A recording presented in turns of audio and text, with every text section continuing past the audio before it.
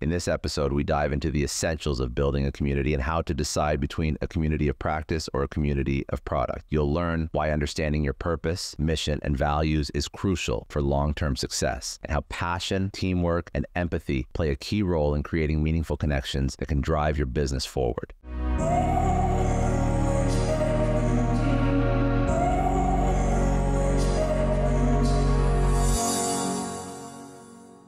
You mentioned if you don't love serving people and helping people, don't build community. There's other ways to build your business, but ultimately, your belief is, and we're on the same page here, that the future of business will be built around community. I think that will differentiate businesses and allow to, them to achieve levels of success that a commodity based business would not be able to achieve easily and even more so in the future. But how do you actually, again, how, the question that everybody asks you, how do you actually build community?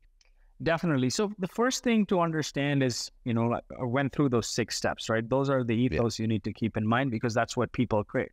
But then after that, you got to uh, differentiate and understand the types of communities.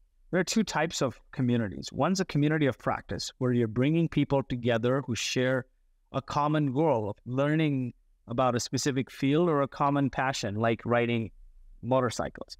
And then there's a community of product, which is built for users to ask questions about your product, get insights, and stay connected with the company.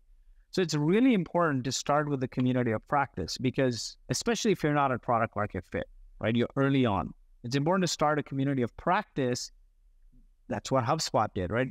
Helping people become better digital marketers, or Gainsight did, elevating the profession of customer success and helping people become better customer success professionals. If you don't have a product or you're pre-product market fit, you got to build a community of practice. If you build a community of product when you're pre-product market fit and you're hawking your product all the time, people might see that as contrived, right? They're like, ah, these guys are just wanting to sell me stuff. The step one is understanding what kind of community do you want to build? Do you want to build a community of practice or a community of product? And now within each of them, there are different type of sub communities like a pool community or a hub community or and so on. One of the best ways to build a community is where there's person to person interaction, not just a one to many. So people within the community can interact whether or not that central figure lives or dies, right? So it's very important to have that personal to person. But the step one is focus on building a practice community of practice to elevate that field of learning or field of passion. Number one, very important, especially if you don't have a product or your pre-product market fit. Number two is align, you know, you need to understand the purpose, the mission, the vision. You got to write these down. And a lot of people say, man, hear that bullshit things that people write on the wall. It's bullshit. You can't build a long lasting, sustainable company, right? So for me, it's it's funny. Years ago, I wrote down my purpose, mission, vision, values personally, and it's it's funny. The two kind of companies that I've built, Boast and Traction, align with exactly that, right? My purpose in life is to enable innovators to change the world. Why? Every dollar spent in innovation returns 20 to the universe. Vaccines, robots, clean drinking water is a function of innovation. If you're not innovating, you're going to die. My vision is to accelerate that innovation, be the accelerant of that innovation. So then how do I do it? Right? Through content, through connections, through community, to capital.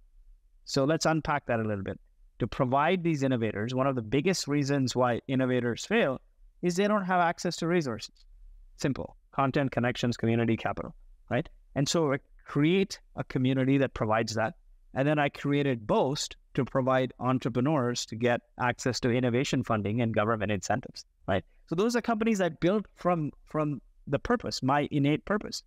And then the last thing is what are your values? I think it's very, very important because if you values tell you how you behave every waking hour, your your mission tells you what you do every day. Your vision tells you what you will be as a result of that. Like what will the world look like, right? And then your purpose is why do you exist? What is the forever? But your values are really important. And for me, my values are impact, passion, teamwork, right? Those are and empathy. Key things.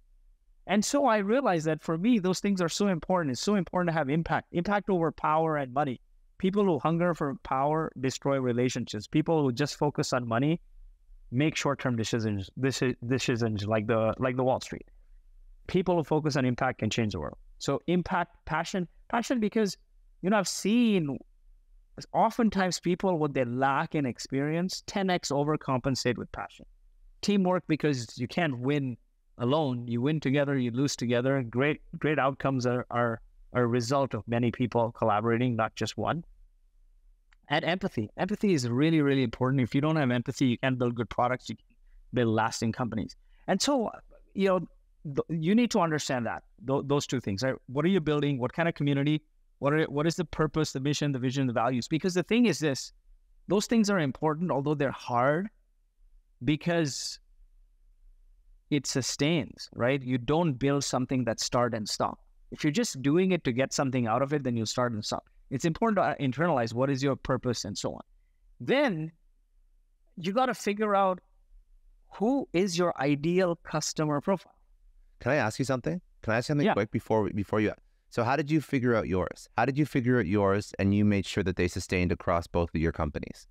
So it's it's funny. I didn't make sure they sustained across both my companies. It's just my behaviors caused me to go in. No, no, but that means that you found that means that you found things that were valid, or else Yeah. you wouldn't have. Right? they they wouldn't have. So you know, I I often tell people when you're in an interview, don't ask somebody what do you what are you great at, what are you not great at. Just observe them, right? Because people bullshit anyway. But when you observe them, so I often found myself, what do I love doing? Where like even if I didn't get paid to do it, and for years I didn't get paid to do it, I would keep doing. Before I started Traction, I was doing uh, community building at Startup Weekend. I used to facilitate, fly on my own dime. I, I ran a pre-accelerator called Startup Next. I was doing all this community support stuff every time that drove me. And the things I hated were like, you know, things that actually paid the bills, like doing financials and, and all of that stuff. So I'm like, you know what? Let me pause here for a second. Like, what am I? Missionary? What am I? Right. So so then you realize it and and trust me, this works, right? What are the things you procrastinate on? You should never do that. If every week you hit snooze on your Google Google uh, email, like I have this thing where I block either calendar times or I mark emails under it. And the things that I keep putting snooze on week, there's, there's like some stuff that's been snoozed for two years almost every week, right? Dude, I things I hate. exactly what you're talking about. I know exactly what you're talking about. I have emails sitting in my inbox right now. You just said that, and that's like motivated me to like just delete them and never talk because I know that I don't want to do them. every Friday I snooze like by a week, by a week, right? Um, and so you got to realize the most important thing for a founder or any creator, let's just say it, right, is leverage. So what are the things that you know you're passionate about? When passion meets profession, you become Michael Jackson or Michael Jordan? When passion meets profession, just think about that for a second. When passion meets profession, it's not work anymore. You're Michael Jackson, man. You love dancing. You love shooting hoops, right? And so you got to find that. And for me, it was helping others. And it just didn't come innately. I think it, it, it was my upbringing a lot to do with the Gulf War. My parents grew up in the slums in India, in Mumbai, and uh, my mom had 10 siblings. They didn't even have their bathroom. Anytime I'd go there, uh, there would be some stranger staying in their house because Mumbai is like the New York City of India. And I asked them, like, why do you have this stranger staying here? Like, why? You guys don't have room. And and I'd often hear that, you know, if you help enough people get to their destination, you'll get to your destination. Those people may not help you, but the karma comes back. And so like a lot of the, life is what? How you behave is part nature and part nurture. A lot of it is part nurture, right?